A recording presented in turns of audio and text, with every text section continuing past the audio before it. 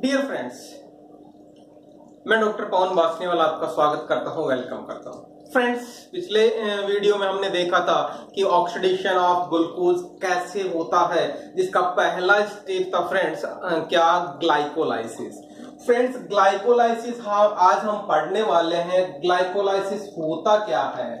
Friend देखना आप यहाँ पे इसका दूसरा नाम है सबसे पहले Embden Meyerhof Parnas pathway.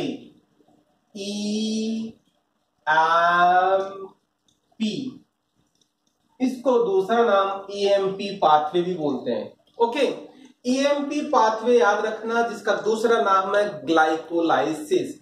यहाँ पे ग्लाइकोलाइसिस को मैं थोड़ा सा और याद करवा देता हूँ। ग्लाइकोलाइसिस। फ्रेंड्स ग्लाइको का मतलब होता है ग्लूकोज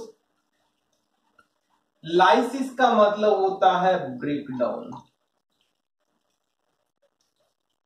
तो कहने का मतलब यहाँ ग्लूकोज का ब्रेकडाउन होने वाला है तो उसको हम बोलते हैं ग्लाइकोलाइसिस ओके इसको बोलते हैं हम ग्लाइकोलाइसिस नाउ ये होता कहाँ है? मैंने कुछ पॉइंट्स बताने की कोशिश कर रहा हूँ जिसको हम एज ए समरी बोलेंगे प्लेस कहाँ होता है? मतलब ये होता कहाँ है? साइटोसोल ऑफ़ ईच सेल सभी सेल्स में होता है। और कहा होता है? साइटोसोल में होता है। कौन सी कंडीशन में होता है फ्रेंड्स बहुत इंपॉर्टेंट है, जिसको कहेंगे आप both aerobic condition and anaerobic condition इसका मतलब क्या हुआ? एरोबिक कंडीशन का मतलब तो ऑक्सीजन अवेलेबल है।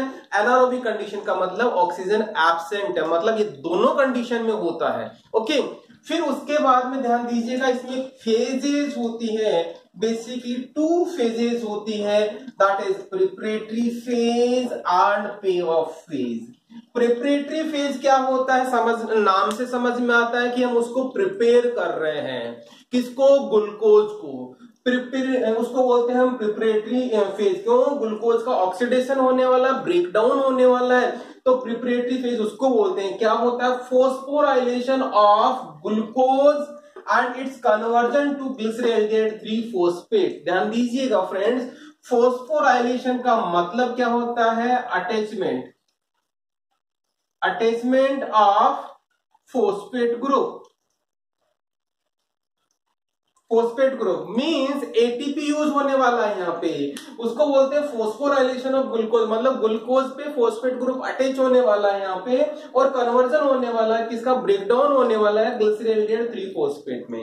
ये तो हो गया उसको प्रिपेयर करने वाली कंडीशन जिसको प्रिपरेटरी फ़ेज़ बोलेंगे अपन। फिर दूसरी कंडीशन आती है हमारे सामने पे ऑफ़ पे ऑफ़ का मतलब देना, कुछ दे रहा है। क्या दे रहा है? Oxidation of glycerine three phosphate जो यहाँ बना था किसमें?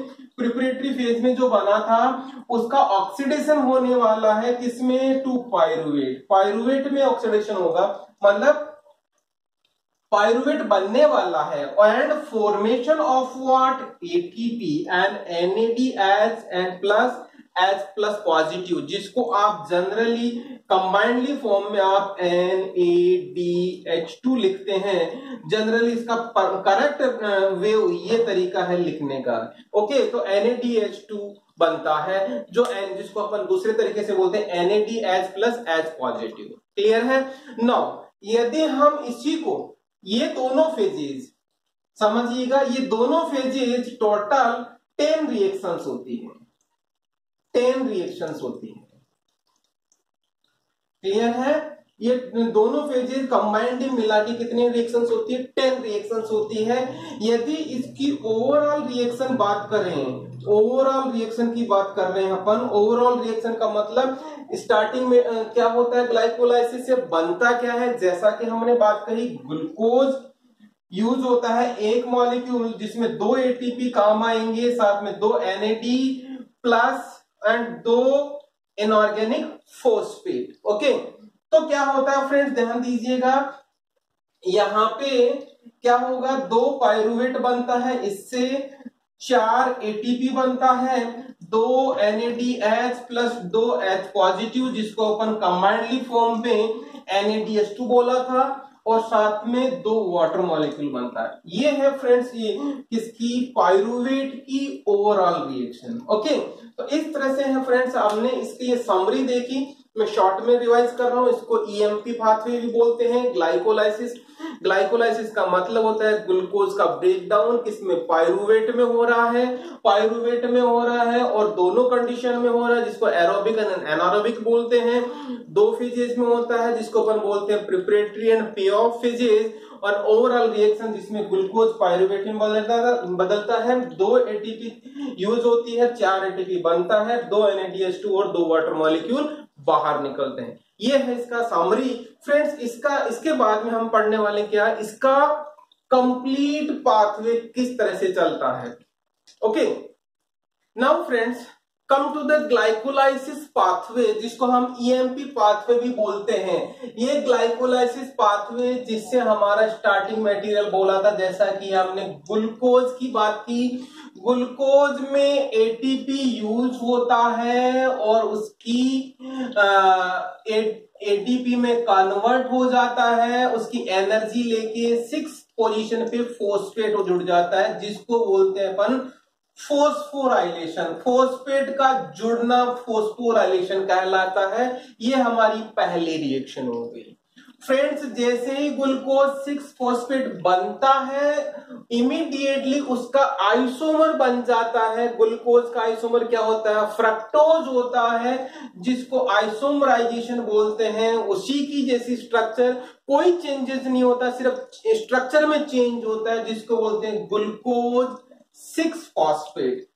जैसे ही ग्लूकोज सिक्स फॉस्फेट बनता है, जैसे ही ग्लूकोज सिक्स फोस्फेट बनता, अगेन एक फोस्फेट और जुड़ता है। एटीपी से एडीपी बनता है, जिसको बोलते हैं fructose one six bis phosphate again ये वाली रिएक्शन क्या कहलाएगी? जिस तरह से ये वाली रिएक्शन थी सेम ही रिएक्शन है that is again phosphorylation friends देखना, जैसे ही glucose fructose one six di bis phosphate बनता है, उसका ब्रेकडाउन हो जाता है, जिसको अपन लाइसिस भी बोलते हैं, दो मॉलिक्यूल में। यहाँ पे छह कार्बन थे ओके दो मॉलिक्यूल में तीन कार्बन वाला ये मॉलिक्यूल और तीन कार्बन वाला ये मॉलिक्यूल इस एक मॉलिक्यूल तो था डाई हाइड्रोक्सी एसिटोन फोस्फेट जिसको आप D H A P short में बोलते हैं। दूसरा है ग्लिसरेल्डिहाइड थ्री फोस्फेट फ्रेंड्स दोनों के दोनों आइसोमर है एक दूसरे के लिए इसलिए फिफ्थ रिएक्शन है। दैट इज़ आइसोमराइजेशन मतलब दोनों एक दूसरे में कन्वर्ट हो जाती है। ठीक है दोनों एक दूसरे में कन्वर्ट होता है। जैसे ही ये दोनों कन्वर्ट होते हैं फिर आगे रिएक्शन होता है। फ्रेंड्स ग्लिसरेल्डेड थ्री फोस्फेट से आगे रिएक्शन होता है, यहाँ पे दो इनऑर्गेनिक फोस्फेट और एनएडी पॉजिटिव दो। दो यहाँ पे क्यों? क्योंकि एक मॉलिक्यूल ये, एक मॉलिक्यूल ये दोनों, अब यहाँ से दो रिएक्शन स्टार्ट होगी। क्लियर है? ये वाली जो शुरुआत वाली, ये पूरी phase this this side complete reaction, कौन सी रिएक्शन होगी? प्रिपरेटरी फ़ेज़, जैसा कि हमने थोड़ी देर पहले बात कही थी। तो फिर आगा ग्लिसरेल थ्री फोस्फेट से दो रिएक्शन होगी एक साथ। तो यहाँ पे दो एन एच एंड दो एन एच टू बनेगा मतलब दो एन टू बन गए। क्लियर है? अगेन सी एनएडी से एनएडीएस टू बन रहा मतलब दो हाइड्रोजन बाहर निकल रहे इसका मतलब क्या हो गया? ऑक्सीडेशन रिएक्शन हो गया। ये तो हो गया ऑक्सीडेशन रिएक्शन फिर फोस्फेट ग्रुप जुड़ रहा है, इसलिए इसको बोलेंगे फोस्फोराइलेशन जैसे कि फोस्फेट ग्रुप यहाँ पे जुड़ रहा था। क्लियर जैसे ही ये कंडीशन हुआ, ध्यान दीजिएगा, एक फोस्फेट था यहाँ पे, अब दो फोस्फेट हो गया। वन थ्री बीस फोस्फोग्लिसरेट हो गया। क्लियर ग्लिसरेट कैसे हुआ? एल्डिहाइड से उनका ऑक्सीडेशन हो गया तो ग्लिसरेट हो गया ग्लिसरिक एसिड बन गया तो इस तरह से इसका नाम याद रखने में भी बड़ी आसानी होगी। ग्लिसरेट हो गया, अब क्या हो गया? यहाँ से दो फोस्फेट मोइटी है, दो फोस्फेट मोसी दो एडीपी आया, दो एटीपी में कन्वर्ट हो गया फ्रेंड्स एक फोस्फेट लेके यहाँ से एटीपी बन गया, यहाँ पे कीप इन माइंड फोस्फेट जुड़ रहा है, इसका मतलब फोस्फोराइलेशन हो रहा है। फोस्फोराइलेशन का मतलब यहाँ पे एडीपी पे एक फोस्फेट ग्रुप जुड़ रहा है. That is substrate level phosphorylation okay जैसे थ्री फोस्फो मतलब फ़र्स्ट पोजीशन वाला फोस्फेट एडीपी पे अटैच हो गया और एटीपी बनाया। जैसे थ्री फोस्फोग्लिसरेट बनता है तो क्या बनता है? उसका इमीडिएट आइसोमराइजेशन होता है। थर्ड पोजीशन वाला फोस्फेट ग्रुप सेकंड पोजीशन पे चला जाता है, जिस दैट इज़ टू फोस्फोग्लिसरेट मतलब आइसोमराइजेशन हुआ आइसोमराइजेशन हो गया। क्लियर आइसोमराइजेशन जैसे ही होता है, दो वाटर मॉलिक्यूल वहाँ से बाहर निकल जाता है। वाटर मॉलिक्यूल निकलने की कंडीशन को हम बोलते हैं डिहाइड्रेशन ओके जैसे ही डिहाइड्रेशन होता है, उसका नाम बनता है phospho enol pyruvate phosphoenol pyruvate friend ध्यान दीजिएगा, दो दो मॉलिक्यूल बन रहे हैं यहाँ पे। इसका मतलब ये दो बार रिएक्शन चल रही है और दो दो मॉलिक्यूल इधर निकलते जा रहे हैं।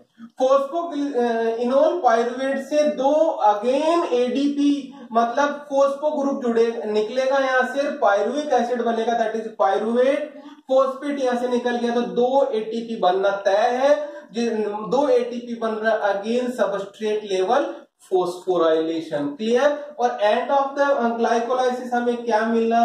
पायरुवेट मिल गया, शुरुआत यहाँ से हुई थी ग्लूकोज से, और दो पायरुवेट मिल गया।